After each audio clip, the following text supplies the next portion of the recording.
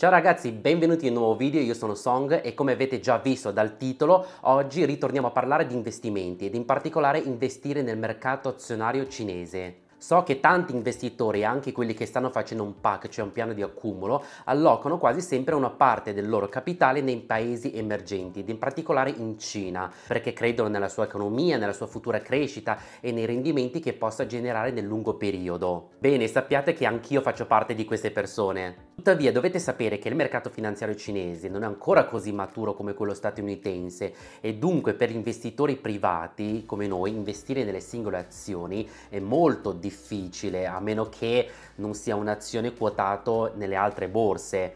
Bisogna studiarlo, analizzarlo e approfondirlo bene, anche perché il mercato finanziario cinese è ancora nella sua fase di evoluzione, di crescita e di apprendimento. Inoltre, oggi come oggi, solo investitori istituzionali che hanno la qualifica possono comprare direttamente le azioni cinesi quotate in Cina. Quindi anche se uno ha approfondito, studiato, analizzato a 360 gradi un'azienda cinese quotata in Cina e vuole investirci, è tagliato fuori. Dunque in questa fase secondo me è meglio investirci tramite ETF, ovvero fondi di investimento quotati in borsa, perché hanno costi bassi, sono gestiti passivamente in quanto si legano ad indici azionari e poi non devi stare lì a scegliere quali azioni comprare, in quanto comprare un ETF significa già acquistare un paniere di azioni e questo riflette meglio l'andamento di un intero mercato o di un settore rispetto al comprare singole azioni. Quindi qual è il migliore ETF per investire nel mercato cinese? Due premesse prima di tutto. Primo è che non sono un consulente finanziario e tutto quello che vi sto dicendo sono solo il mio personale parere basato sulla mia esperienza e sulle informazioni che leggo e studio direttamente non solo dai media europei o americane ma anche da quelli cinesi. Quindi ragazzi anche voi ragionate, fatevi una vostra opinione ed investite con consapevolezza e responsabilità. Secondo, facciamo una piccola introduzione al mercato azionario cinese e quali sono gli indici più importanti da seguire e solo dopo andremo a vedere quali sono gli ETF migliori. Ci sono due borse in Cina dove vengono negoziate le azioni, anzi da poco è arrivato anche il terzo, cioè la borsa di Shanghai, cioè Shanghai Stock Exchange, e la borsa di Shenzhen, Shenzhen Stock Exchange hanno una capitalizzazione rispettivamente di 7 e 3,9 trilioni di dollari. Poi a settembre del 2021 è stata introdotta anche la borsa di Pechino, ma per adesso le prime due restano le più importanti. Le azioni quotate nella borsa cinese sono suddivise in categorie. Le più importanti sono le A-shares, sicuramente almeno una volta lo avrete sentito nominare. Sono le azioni delle aziende cinesi denominate nella valuta domestica, ovvero renminbi, e quotate in Cina. Le B-shares sono azioni denominate in valuta estera e quotate in Cina. Poi abbiamo le H-shares, cioè azioni delle aziende cinesi quotate nella borsa di Hong Kong le S-shares, azioni delle aziende cinesi quotate nella borsa di Singapore, le N-shares, azioni delle aziende cinesi quotate nella borsa di New York e poi mi sembra c'è anche la L-shares che sono le azioni delle aziende cinesi quotate nella borsa di Londra. Però le più importanti sono le A-shares per chi vuole investire direttamente nel mercato cinese. Le H-shares che sono le azioni delle aziende cinesi quotate in Hong Kong possono essere acquistate tranquillamente anche dagli investitori privati tramite brokers mentre le A-shares possono essere acquistate solo da investitori istituzionali qualificati tramite lo Stock Connect. Per quanto riguardano gli indici azionari cinesi domestici, beh ce ne sono tanti, ma quelli più importanti secondo me sono solo questi sette. Il primo è la SSE Composite Index, che sta per Shanghai Stock Exchange Composite Index. Racchiude al suo interno tutte le aziende della borsa di Shanghai, sia A-shares che B-shares, quindi questo indice riflette molto bene l'andamento della borsa di Shanghai. C'è tuttavia uno svantaggio in questo grosso indice, cioè quando sale o scende non si capisce bene se sono le blue chips, cioè le aziende grosse che lo stanno trainando, oppure le piccole e le medie aziende che lo stanno muovendo. Ed ecco qui che ci viene in soccorso altri indici. SSE 180, questo indice comprende le 180 aziende più capitalizzate e performanti della borsa di Shanghai. Al suo interno ci sono aziende per lo più di medie e grandi dimensioni. Poi abbiamo la SSE 50 che sono le 50 aziende più capitalizzate, più performanti e più liquide della borsa di Shanghai, le blue chips insomma. Il quarto indice è la SS Star 50, questo indice rappresenta le 50 aziende tecnologiche ed innovative più grandi della borsa Star di Shanghai, ovvero quel segmento dedicato alle aziende start-up tecnologiche ed innovative. Per incentivare le start-up tecnologiche a quotarsi in Cina, i requisiti per la borsa Star di Shanghai sono molto meno restrittivi di quelli normali. Poi abbiamo la SZSE Composite Index, è praticamente uguale al SSE Composite Index ma per la borsa di Shenzhen, ovvero comprende tutte le azioni quotate in questa borsa. SZSE 100 invece è l'indice che traccia le 100 aziende più capitalizzate e performanti della borsa di Shenzhen, molto simile al SSE 50 e molto importante perché combinato insieme alla SZSE Composite ti permette di capire se sono le aziende grosse a trainare il mercato oppure se sono le aziende piccole e medie.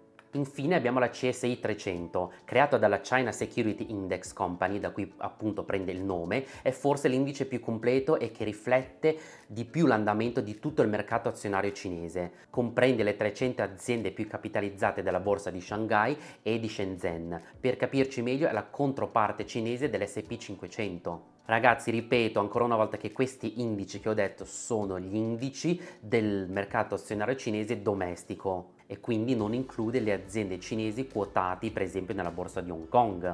Finalmente arriviamo agli ETF che secondo me sono i migliori per investire nel mercato cinese domestico adesso. Il primo ETF è un ETF che va a replicare l'indice CSI 300 ed è la X-Trackers Harvest CSI 300. Costituito nel 2014, la capitalizzazione di questo fondo è di circa 500 milioni e a replica fisica ha un costo di 0,65% all'anno, che è un pochino altino, e il prezzo è sui 11 euro è un ETF a distribuzione, cioè i dividendi vengono distribuiti anziché reinvestiti. Per esempio io personalmente preferisco ad accumulazione, però dipende molto dalle esigenze di ogni singolo investitore. Cioè un investitore giovane tende a preferire per esempio ad accumulazione perché reinveste i dividendi, mentre gli investitori più anziani magari preferiscono la distribuzione.